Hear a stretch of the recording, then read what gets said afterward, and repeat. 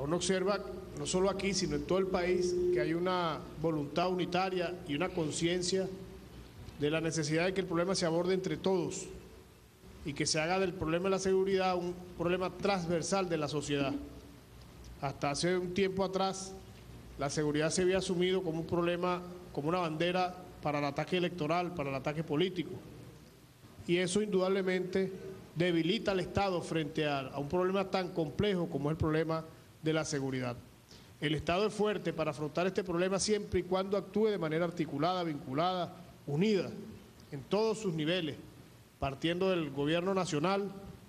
después el gobierno regional, los gobiernos municipales y el poder popular,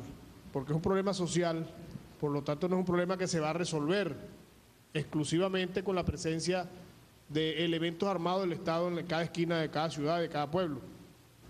Un problema, un problema que tiene que abordarse, como bien lo hace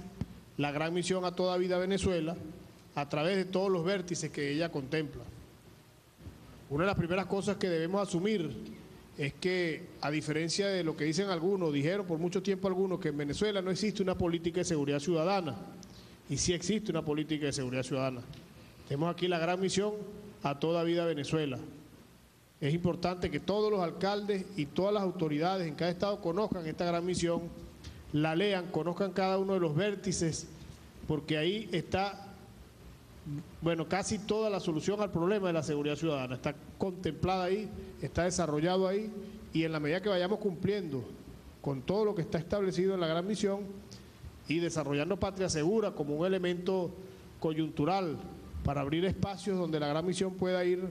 trabajando y desarrollándose, estamos seguros que vamos a ir creando espacios eh, de tranquilidad, espacios de paz, de convivencia.